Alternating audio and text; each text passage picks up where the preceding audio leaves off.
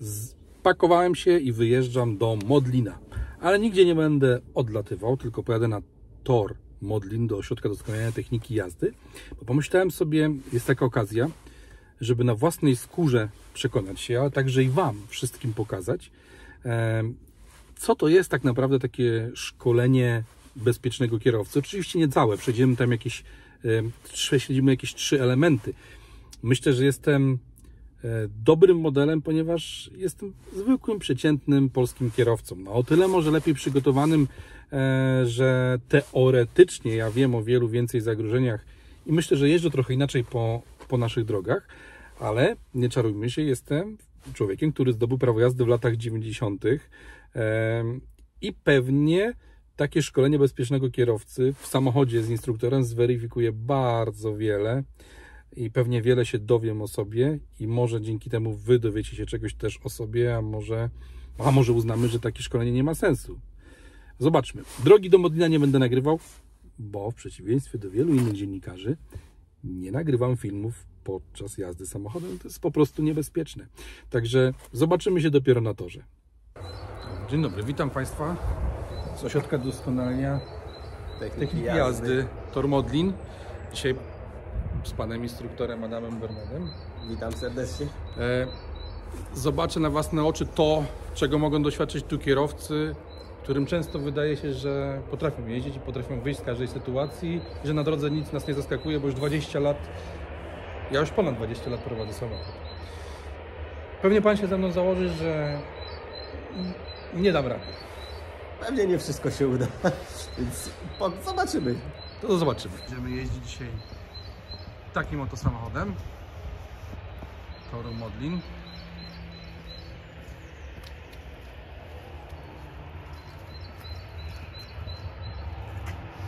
Szkolicie na takich suwach właśnie, czy... To są nasze auta szkoleniowe.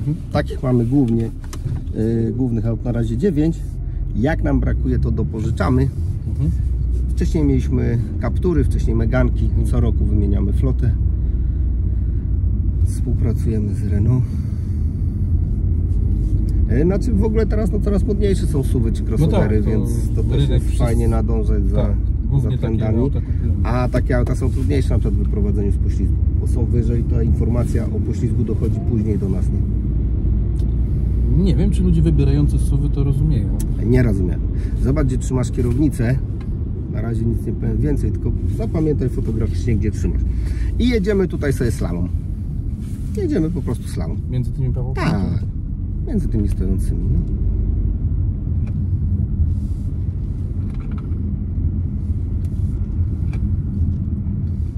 Mhm. Mhm. I tu bramkę, tu, tu, tu, tu Mhm. bramkę. Przed leżącymi zawracamy i jedziemy kolejny slalom. Tu bramkę, tu, tu, tu, tu, tu tą bramkę i od razu w lewo. I tu jest już dużo ciaśniej. Mhm. No jechałeś na pachołek. Jedziemy, jedziemy. Ciasno, dobra. Mhm. Jedziemy, jedziemy, jedziemy, jedziemy. Jedziemy i w drugą stronę. Hop. Hop, hop, hop. I zawracamy w bramkę. Dobra. Zatrzymujemy się w bramce na chwilę. Mhm. Czujesz, że mam... No zatrzymaj się. Stop, stop, stop, stop. stop. Czujesz, że mam rękę na twoich plecach? No. Nie, A czułeś znaczy jaką- nie, bo się odchyliłem. A, a czułeś jak ją wkładałem? Nie, nie, nie. Nie, czyli zobacz. Jak dojdzie do jakiejś sytuacji awaryjnej, coś się stanie na drodze, nawet tu, to nie była awaryjna, ty po prostu manewrowałeś. Po pierwsze, co robisz? Tracisz kontakt z fotelem. Napinasz mięśnie brzucha, napinasz przeponę i wisisz na kierownicy, siedząc jak na taborecie, w ogóle oparcie ci niepotrzebne. Druga sprawa, jak dojdzie do sytuacji awaryjnej, pierwsze co zrobisz, to zrobisz hop. No. Zamiast od razu zareagować, to pierwsze co poderwiesz się do Tracę pionu. tam jakieś pół sekundy. Albo... E, po drugie, widziałeś kiedyś na żywo albo w telewizji taki fotel kubełkowy, rajdowy, wyczynowy? Tak, tak. Po co one są? Po to, żeby Wydawało jak się, naj... żeby dobrze trzymać... e, trochę trzymać, ale w autach wyczynowych mamy pasy szelkowe. No. To jakbym Cię przypiął do takiego fotela czy do krzesła w kuchni, też byś się nie ruszył. Chodzi o to, żeby jak największą powierzchnią pupy i pleców, zakończeń nerwowych, czy co się dzieje z autem. Tak. E, to teraz, dobra, przejdź jeszcze raz ten slalom po swojemu.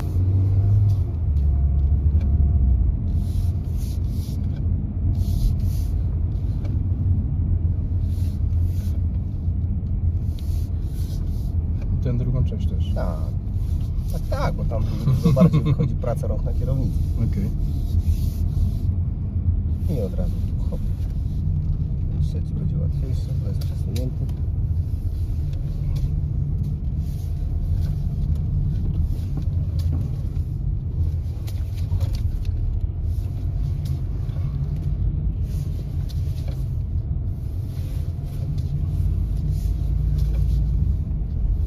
Najechany. No, Dobra, stajemy tu w bramce i teraz delikatna moja korekta. dobra. Stop. E, Miałeś źle ustawiony fotel, nie siedziałeś w fotelu, to ty potrzebujesz trzymać się kierownicy, jak drążka. Niewygodnie ci, że masz palce tu, gdzie jest ramię kierownicy. A ręce powinny być mniej więcej, puść mnie, tu. I palce trzymasz tu z tyłu. Tu? Tu. I teraz skręć na maksa w lewo i w Wiesz, w prawo. latach 90. uczono mnie, że ma być... Do tej pory czasem uczą Za- tak na nauce jazdy, ale zaraz do tego Za- dojdziemy. Dobra, daj niżej. Okej. I teraz daj na maksa w lewo, na maksa w prawo. Na maksa, hop, hop. Jest różnica? Jest, jest. Daj jeszcze raz do góry, tam gdzie miałeś. Mamy w samochodzie łopatki, mamy sterowanie radiem, tempomat, mamy y, głos, mamy wycieraczki. Weź przełącz łopatką cokolwiek. Ja tutaj nie sięgnę, ale A z- słabo, zawsze A złap szerzej. Jeszcze niżej. O teraz. No, teraz Widzisz, że góra, wszystko masz w zasięgu ręki? Tak. Kierownicę zawsze trzymamy w najszerszym y, miejscu. Niosłeś kiedyś miskę z wodą, tacę z jedzeniem, miskę z praniem? No jasne. I gdzie trzymałeś y, No, nie możesz się ci przechylić, więc Też trzeba wyczuć tak. Kierownicę zawsze trzymam pośrednicy. Ludzie nie lubią tu trzymać, bo z reguły mają źle ustawiony fotel i wtedy trzymają się kierownicę jak drążka na, na dlatego, siłę. dlatego, że e, No. w 95 roku e, na kursie na prawo jazdy i potem nikt Do tego nie dziś- zdementował. do Za dzisiaj- 10, e, Do dzisiaj jak szkolimy instruktorów nauki jazdy, oni w tej chwili na kursie mają obowiązkowe tak szkolenie, mówią, że część z nich, nie wszyscy, ale część mówi, że to nie ma różnicy. Może być tu, może być tam, gdzie Nie Ci no, ja. A to teraz przejedź sobie slalom, tak jak do tej pory jechaliśmy. Jedziemy. I zaprzyj się, tak, na tutaj, no, skręcamy. I zaprzyj się mocno lewą nogą o podnóżek. Zaprzyj się, hop, Mhm. hop. Tak dość mocno się zaprzyj. Mhm. Mhm. Dalej patrz, dwa pachołki do przodu. Mhm. Czujesz różnicę w jeździe?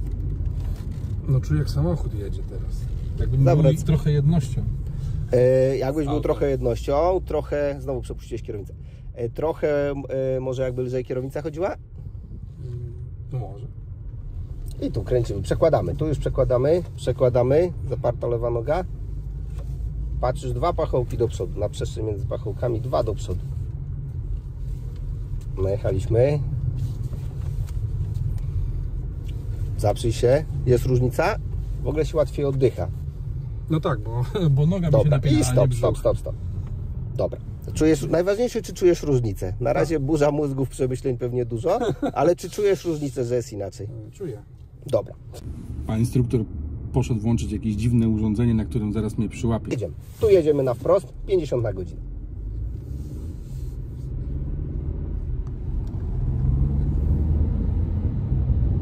I 50 na godzinę. Jedziemy, jedziemy. Nic nie robimy, nic nie omijamy, jedziemy. Wow, zatrzymaj się.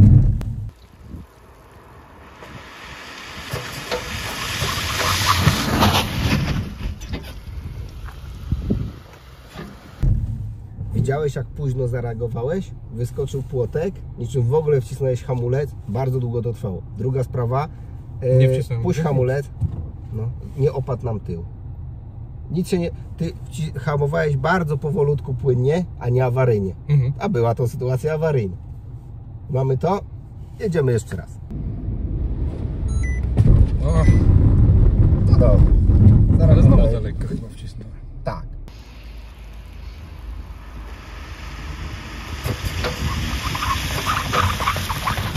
Podsumowanie. Jakie podstawowe błędy zrobiłem ja i jakie robią ludzie zwykle? Że nie udaje im się tak dobrze zatrzymać. E, Przede wszystkim źle siedzą, czyli mają za bardzo odchylone oparcie.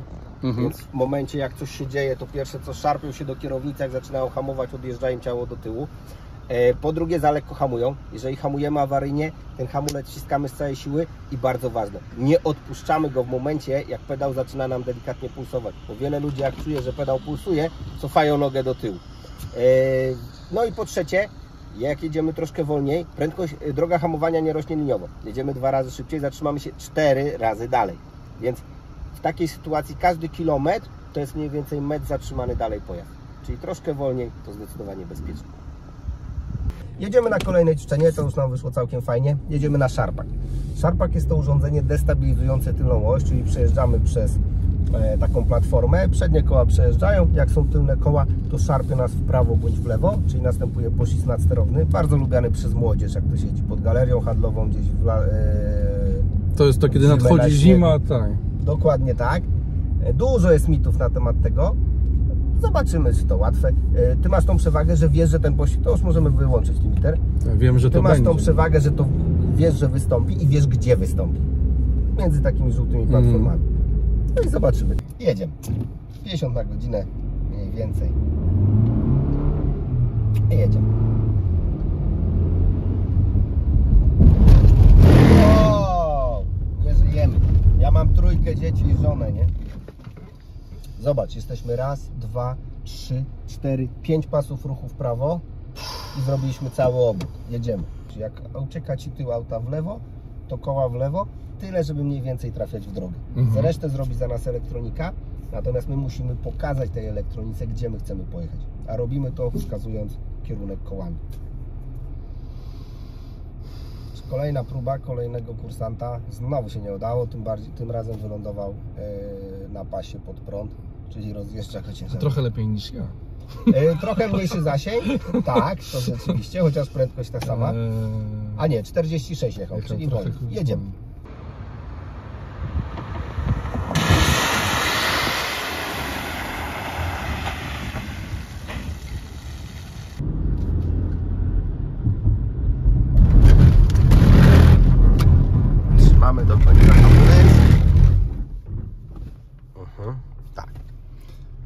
Jak samopoczucie?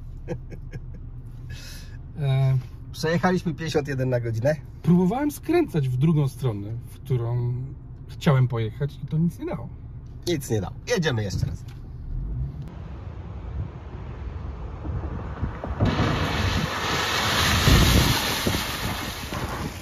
Co musi zrobić kierowca, żeby tak się zatrzymać między liniami, jak tył mu odjeżdża w którąś stronę? E, Pierwsze co, y, im wolniej jedziemy, tym mniejszy zasięg będzie poślizgu. Druga sprawa, jak wpadamy w poślizg, nie kontrolujemy auta, to od razu hamujmy. Bo gdy, jeżeli nam się nie uda zatrzymać, no to zmniejszymy prędkość i z mniejszą prędkością uderzymy, czy to w inny pojazd, czy w drzewo, czy przydrożne bariery. E, Kolejna rzecz, patrzmy tam, gdzie chcemy jechać. To jest bardzo trudne. Większość ludzi patrzy tam, gdzie jest maska. Patrzmy tam, gdzie chcemy jechać. Nawet jak stawia auto bokiem, to używajmy bocznych szyb. Patrzmy tam, gdzie chcemy jechać, bo pojedziemy tam, gdzie patrzymy i tam, gdzie patrzymy, tam, gdzie chcemy jechać, skierujmy koła. Bo kołami pokazujemy systemu bezpieczeństwa e, drogę, gdzie chcemy pojechać. Czyli jeszcze raz, to jest lekki przesąd o tym, żeby nie hamować, kiedy wpada się w pościsk, tylko kręcić mocno kierownicą i ewentualnie dopiero na końcu hamować, albo wręcz dodawać gazu. E, techniki dodawania gazu to y, tylko w motosporcie i tylko w autach bez systemów. System, y, auto wyposażone w systemy bezpieczeństwa, teraz wszystkie auta są wyposażone, nie pozwoli dodać gazu, jeżeli wyczuwa, że auto jest w poślizgu. Druga sprawa, zwiększając prędkość pojazdem, który jest w poślizgu, ryzykujemy, że uderzymy w przeszkodę z większą prędkością. Ja zawsze pytam kursantów, czy wolałbyś uderzyć w przeszkodę, jak jedziesz 50 na godzinę, to wolałbyś nią uderzyć 70 czy 30? Jeśli już się nie uda, no wszyscy 30, no to czemu dodajesz gazu i zwiększasz prędkość pojazdu? Ostatnie moje pytanie. Dlaczego najlepszy z moich przejazdów, zanim się całkowicie wyluzowałem i stwierdziłem, że mi może nie wyjdzie i byłem luźny i się udało, dlaczego najlepszy z moich przejazdów był z zamkniętymi oczami? E, no z zamkniętymi oczami to już trenujemy ludzi na zaawansowanym e, poziomie, dlatego, bo zacząłeś czuć. W sensie masz zamknięte oczy, więc skupiasz się na tym, co odbiera Twój organizm e, z zakończeń nerwowych pleców czy bioder, a nie na tym, co widzisz. W momencie, jak coś się dzieje z autem, powinniśmy to poczuć i zareagować odruchowo, a nie, nie ma czasu na myślenie, intelektualizowanie e, tego, co się dzieje. Po prostu nie ma na to czasu.